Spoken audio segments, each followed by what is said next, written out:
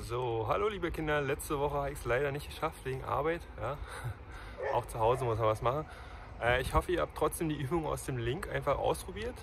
Die waren zwar für ein paar größere Kinder, aber ich glaube, ein paar Übungen habt ihr auch so hingekriegt. Ja. Ähm, ich bin jetzt einfach hier ähm, lang gejoggt an unserem Verein und habe mir gedacht, äh, was kann man denn mal machen, äh, wenn wir Übungen machen wollen, wenn wir keinen Ball dabei haben. Deswegen äh, probiere ich das einfach mal jetzt hier oben auf unserer Terrasse. Mal gucken, ob ich das mit dem Handy jetzt irgendwie hinkriege, dass man auch was sieht.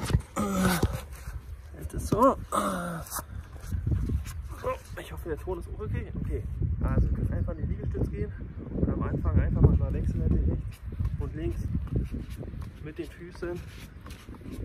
Immer schön im Wechsel.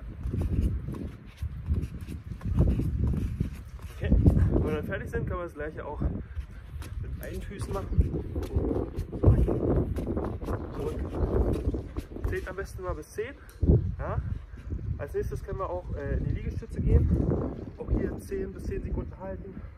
1, 2, 3, 4, 5, 6, 7, 8, 9, 10. Wenn er kurz nicht mehr könnt, kurz Knie ab, auch mal die Arme ausschütteln. Und dann können wir auch gleich wieder die nächste Übung machen. Zum Beispiel einfach ein Arm nach vorne.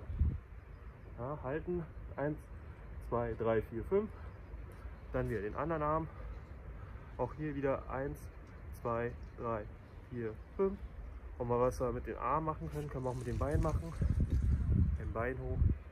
1, 2, 3, 4, 5. Und das andere Bein. 1, 2, 3, 4, 5. Und damit wir das noch ein bisschen was für die Hüfte machen, können wir auch uns ein bisschen aufdrehen. Oh, mein anderer Arm ist jetzt aus dem Bild. Einfach den Arm nach oben strecken, wieder 5 Sekunden halten, runter und zur anderen Seite. Auch das kann man 5 Sekunden machen. Wenn wir zwischendurch immer nicht können, kurz abstützen, Arme ausschütteln. Ja. So, was können wir machen? Liegestütze. Wir probieren es einfach aus. Für den Anfang können wir die Knie auf dem Boden lassen und 5 Liegestütze machen. Wenn er merkt, es klappt super, Knie hoch und das Ganze nochmal. 1, 2, 3, 4, 5. Super. Okay.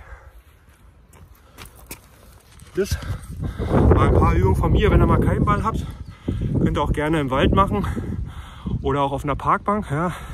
Entweder die Arme auf die Parkbank oder andersrum die Füße auf die Parkbank. Ist mal noch ein bisschen schwieriger, wenn es schräg ist. Ansonsten wünsche ich euch ein frohes Osterfest. Ja. Bleibt gesund, bleibt fit.